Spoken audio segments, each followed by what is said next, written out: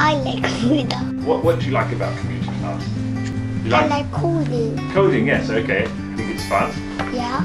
Do you get to use computers a lot? Yeah. Uh, yeah. See, one more time. One more time.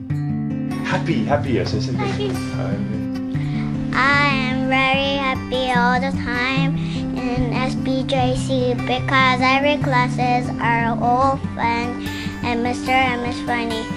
And I can meet every single teachers and students in SPJC. My happiest time in SPJC is when I'm in PE class because I like playing sports and it's my favorite subject.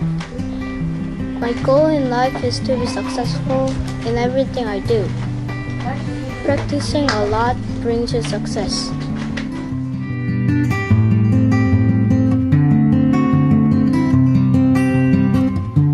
My dream is to become an animator. I also like to draw pictures and drawings, and I'm preparing to become an animator by drawing more animations and practicing drawing pictures.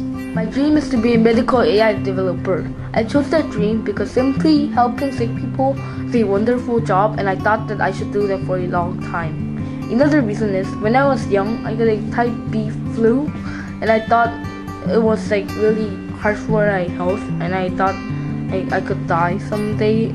And one day, a doctor helped me so I can get out of the flu. I was really thankful and he was really helpful for me that I thought that I should be a person like him. The reason that I I chose to be a medical AI developer, not a doctor, is because that AI has infinite possibilities and they're greater than doctors.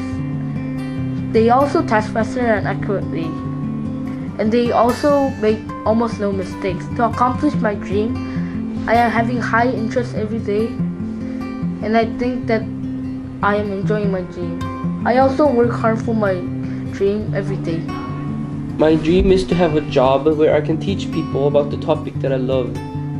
What I'm doing for that dream is I'm making my own website where I can post my own videos and articles about the topic that I'm enjoying or interested at. I don't have any specific dreams right now, but I want to do something related to art, so I'm trying really hard during art class. And my goal is to find my personal color in many ways. Like I'm trying to find me through my art. And just be ready, I'm I'm trying really hard to get A's in all subjects.